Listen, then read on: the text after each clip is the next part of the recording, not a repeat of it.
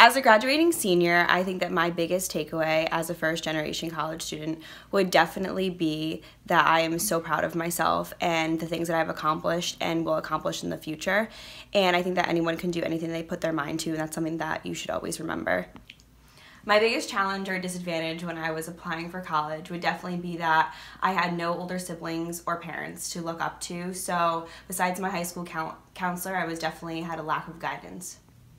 My proudest accomplishment thus far as a graduating senior would be making the Dean's List. Um, that's something I never thought I'd be able to do. School was never a strong suit of mine, so doing that and knowing that it's something that I've accomplished is definitely something to be proud of.